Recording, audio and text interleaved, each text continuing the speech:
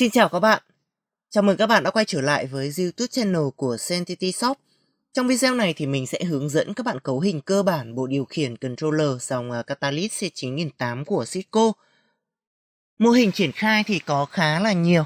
Do vậy trong video này thì mình sẽ hướng dẫn các bạn cơ bản về cách cấu hình ban đầu, bao gồm IP, tạo tài khoản và join được các Wi-Fi vào để phát Wi-Fi. Còn các cấu hình nâng cao, best practice và các mô hình triển khai thực tế thì mình sẽ làm trong các video khác. Các bạn có thể theo dõi trên uh, YouTube channel của Sentity Shop nhé. Đối với các thiết bị của Cisco, để đơn giản thì các bạn nên có dây console để cấu hình cho nó dễ.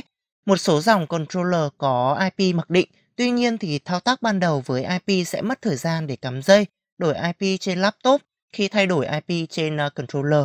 Và mấy dòng nhỏ mà chúng ta hay sử dụng như mã C9008-L-F thì không có IP mặc định. Mình đang sử dụng mã controller C9008-L-F để demo.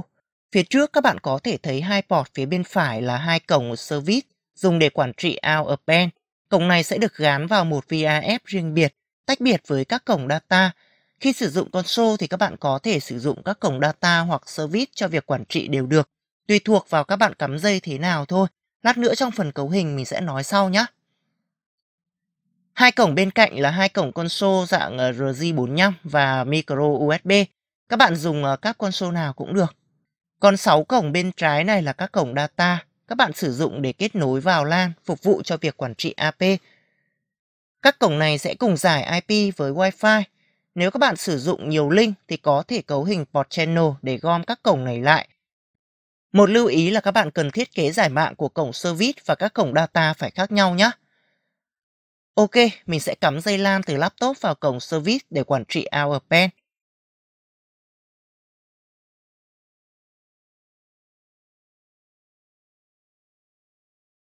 Đây là mô hình mình đang kết nối. Một dây mạng cắm từ cổng service vào laptop. Trong thực tế thì các bạn sẽ cắm vào suite quản trị nếu có, còn không thì các bạn chỉ cần cắm vào cổng data là được.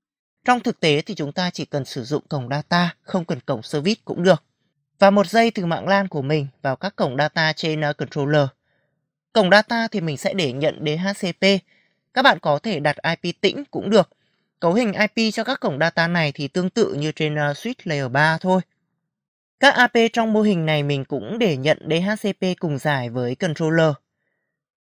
Mình ờ, sẽ vào giao diện console của controller. Ban đầu khi mà controller khởi động lên thì nó sẽ cho phép các bạn thiết lập ban đầu nó sẽ có hai trường hợp xảy ra. Nếu các bạn chỉ cắm cổng service thì nó sẽ hiển thị là dialog. Các bạn chọn yes để cấu hình IP, tài khoản cho controller. IP này sẽ đặt trên cổng Ethernet không, chính là cổng ờ, service trên ờ, controller. Chính là cổng này trên ờ, mô hình. Còn nếu các bạn muốn tự cấu hình thì chọn No. Dòng controller 9008 sử dụng hệ điều hành à, Cisco IOS XE giống như trên à, router hoặc à, switch Cisco nên nếu các bạn làm nhiều switch Cisco rồi thì nó sẽ rất là đơn giản thôi. Còn nếu mà các bạn cắm dây vào các cổng data và có DHCP thì controller sẽ nhận IP DHCP và bỏ qua dialog này. Khi đó các bạn chỉ cần tạo tài khoản là có thể truy cập vào giao diện web. Mình đang có vấn đề với dây console, mình sẽ cắm lại. Mình sẽ chọn Yes để thiết lập IP. Chọn Yes.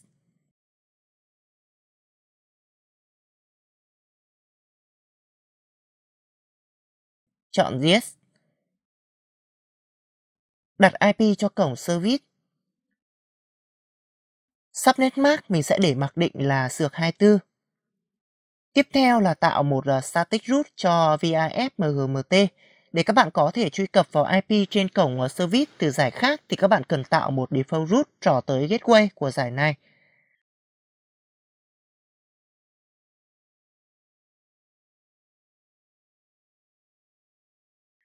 tạo một user để truy cập vào qua giao diện web.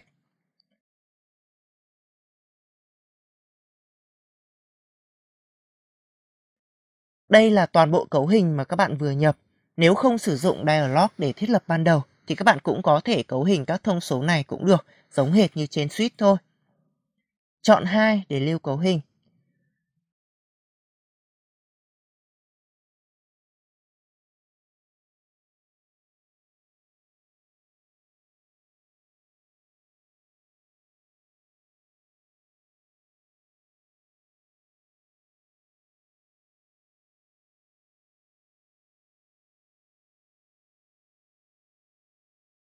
Đây là giao diện dòng lệnh của controller, nó tương tự như switch thôi, chỉ khác là nó sẽ có thêm phần cấu hình về wireless LAN. Các bạn kết nối LAN thế nào thì chỉ cần à, vào các port hoặc VLAN tương ứng để cấu hình là được. Sau khi cấu hình các thông số ban đầu thì các bạn có thể truy cập vào IP vừa đặt.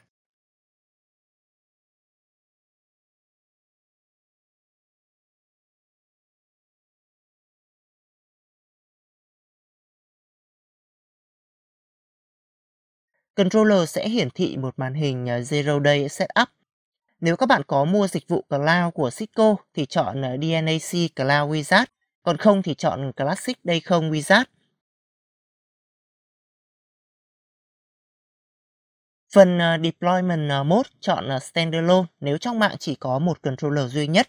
Còn nếu có hai controller chạy dự phòng thì các bạn có thể chọn chế độ HA là Active Active hoặc là Active Passive tùy vào mô hình. Controller sẽ sử dụng các IP quản trị để thiết lập HA. Country thì các bạn chọn ờ, VN là Việt Nam.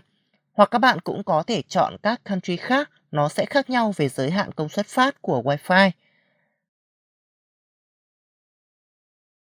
Time, NTP và AAA thì các bạn cấu hình tùy nhu cầu. Phần à, Service Port Setting này là thông tin mà các bạn vừa cấu hình trên à, CLI.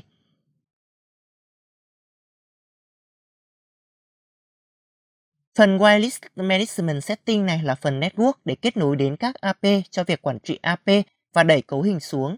Các bạn có thể chọn cổng và VLAN. Nó chính là các cổng này. Các bạn cắm cổng nào thì chọn cổng đó. Như trong ví dụ này thì mình sẽ cắm dây mạng vào cổng TW0.0.0 là cổng đồng đầu tiên trên ờ, controller, còn cổng TE bên dưới này là các cổng quang 10 g Nếu như ở trên switch nối xuống controller các bạn cấu hình cổng trăng thì các bạn cần nhập VLAN tương ứng vào đây.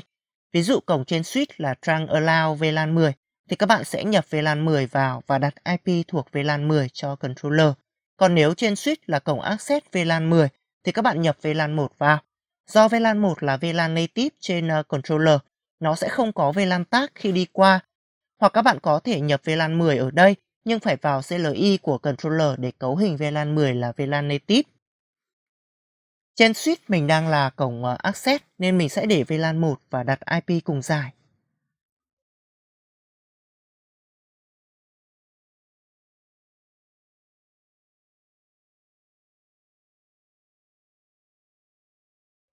chọn Next. Tiếp theo các bạn sẽ tạo một SSID, chọn S.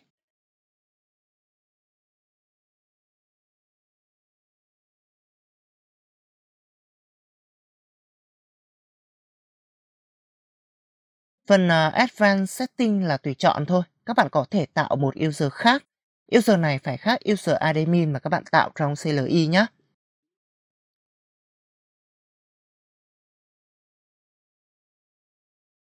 Sau đó thì kiểm tra các thông tin. Nếu đúng thì chọn ờ, Finish để áp dụng cấu hình vào controller.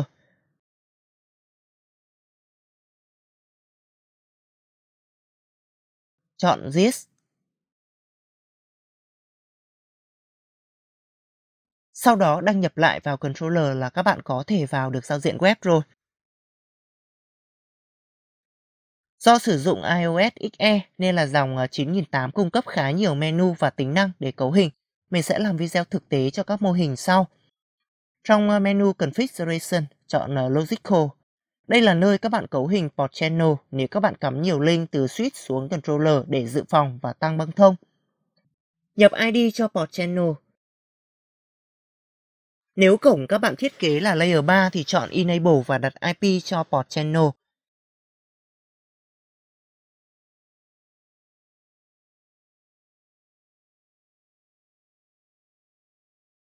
Hiện tại chỉ có cổng service là cổng ờ, GI0 đang là cổng layer 3.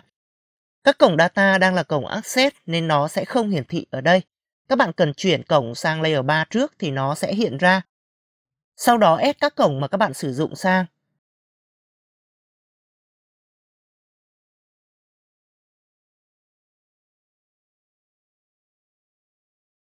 Switch mode và phần ờ, VLAN thì chọn theo cấu hình phía trên switch là xong.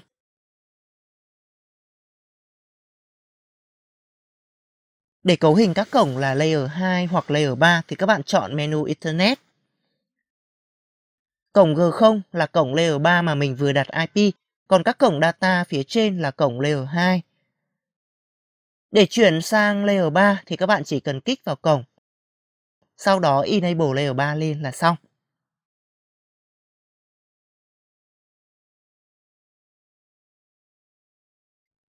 Menu Wireless này chính là nơi mà các bạn cấu hình IP để quản trị cho các AP. Nếu các bạn cần thay đổi IP và VLAN thì có thể sửa ở đây.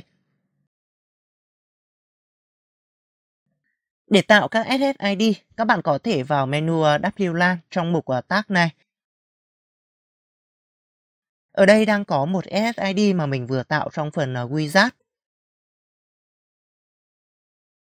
Các bạn có thể add thêm các SSID mới Tuy nhiên có một lưu ý là trên ờ, controller Cisco C9008 các bạn sẽ cần phải tác thêm các profile vào thì nó mới phát nhé. Còn nếu không thì các bạn sẽ không nhìn thấy SSID đâu. Như SSID test này thì các AP cũng sẽ chưa phát ra. Do tạo theo wizard thì nó sẽ không tác profile vào. Các bạn cần phải chọn Edit SSID để tác thêm vào. Trong tab Add to Policy Tag, các bạn chọn Policy mặc định. Khi đó thì client join vào sẽ được kết nối đến ờ, VLAN tương ứng với cổng trên switch. Do mặc định thì nó sử dụng ờ, VLAN 1 là native. Trong trường hợp này thì cổng trên switch kết nối xuống Wi-Fi của mình là các cổng access. Với các mô hình mạng mà chỉ có một VLAN duy nhất thì các bạn chọn luôn default này cho nó nhanh. Còn với mô hình nhiều VLAN thì nó còn liên quan đến cấu hình trên switch, mình sẽ làm trong video sau. Chọn default policy và nhấn update để lưu. Ok, việc còn lại là các bạn uh, cho các AP join vào controller thôi. Với các dòng controller 9000 thì các bạn sẽ không cần mua license để add thêm AP vào như các dòng 2504, 3504 cũ, mà các bạn sẽ cần mua license DNA theo AP để có thể add Wi-Fi vào. License này nó là dạng uh, Smart License. Do vậy để Active License thì các bạn cần có tài khoản Cisco Smart Account. Nếu mua AP thì các bạn có thể hỏi nhà cung cấp xem license DNA của AP nó đẩy về tài khoản Smart Account nào. Thì các bạn hỏi xin họ đoạn uh, token key để active trên controller. Còn nếu mà các bạn muốn quản trị license đó thì cũng có thể tạo một Smart Account. Sau đó xin nhà cung cấp add tài khoản của các bạn vào tài khoản của họ cũng được. Để tạo Smart Account thì các bạn vào website uh,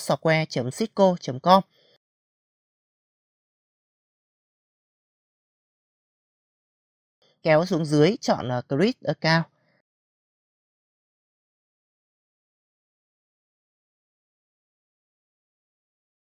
Chọn uh, Create a New Account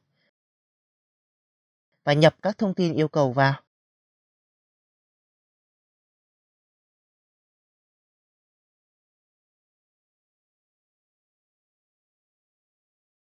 Sau đó nhấn đăng ký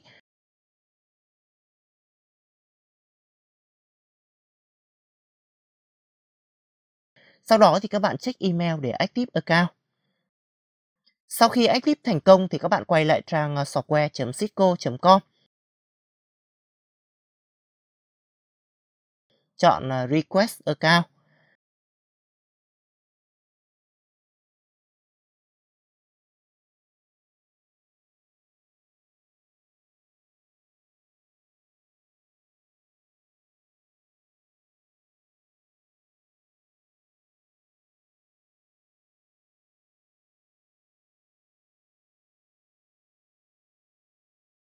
Khi đó, các bạn sẽ cần phải liên hệ với quản trị viên của công ty đã có sẵn Smart Account hoặc liên hệ với partner để họ ép tài khoản của các bạn vào thì mới tạo được. Cái việc tạo Smart Account này nó khá là lòng ngoằng cho nên là nếu các bạn chỉ cần AP hoạt động thì các bạn chỉ cần xin ờ, token key của nhà cung cấp add vào controller cho nó nhanh. Sau khi các bạn request và được xác nhận thì khi đó các bạn có thể truy cập vào Smart Account. Sau khi đã request được ờ, Smart Account và đã được phân quyền để quản trị license các bạn quay lại trang ờ, software.cisco.com. Chọn là Manage License.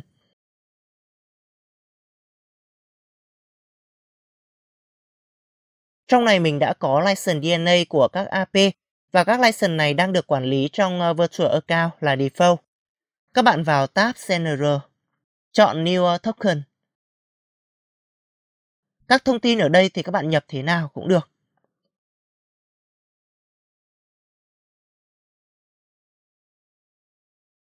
Chọn ờ, Create Token. Sau đó chọn ờ, Copy Token Key này.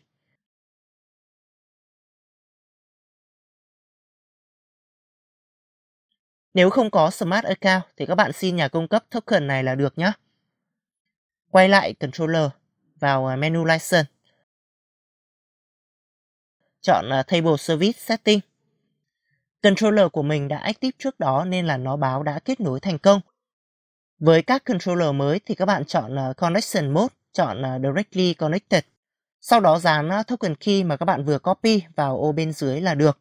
Nó sẽ mất khá là lâu để có thể đồng bộ với Smart Account. Trên controller báo đã thiết lập thế này là ok rồi. Giờ thì mình sẽ cắm Wi-Fi vào mạng. Mình sẽ cắm luôn console vào Wi-Fi để xem nó khởi động. Đây là giao diện dòng lệnh của Wi-Fi Cisco 9000 series. Mình đang sử dụng Wi-Fi 9115 để demo.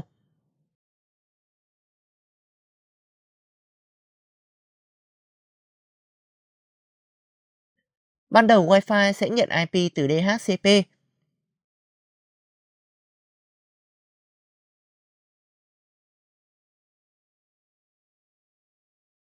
Sau khi Wi-Fi nhận được IP, nó sẽ send các bản tin roi ra toàn mạng. Các controller sẽ trả lời các gói tin này và nếu phù hợp với policy mà các bạn đã thiết lập thì nó sẽ roi được vào. Trong trường hợp version của AP khác với controller thì nó sẽ tự động upgrade lên phiên bản mới hơn. Khi đó thì các bạn sẽ phải chờ khá lâu để AP có thể roi được vào. Do là nó sẽ khởi động lại để upgrade, thường thì sẽ mất khoảng 5 đến 10 phút nếu tính cả upgrade.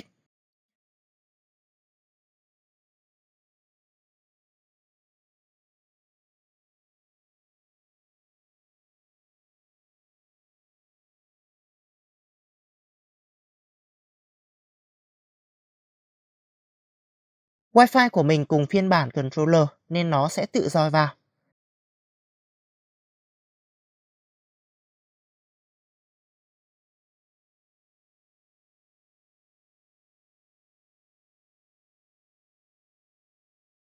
Đây chính là AP của mình. Sau khi Wi-Fi roi vào thì nó sẽ tự động phát các SSID mà các bạn đã cấu hình. Ok, như vậy chắc các bạn cũng đã có thể tự cấu hình các bộ controller của Cisco cho doanh nghiệp của mình rồi. Nếu các bạn có bất kỳ góp ý hay là thắc mắc nào thì cứ để lại comment để mọi người cùng trao đổi nhé. Hãy like, share cũng như là subscribe để nhận thêm những video mới nhất từ Sentity Shop bạn nhé.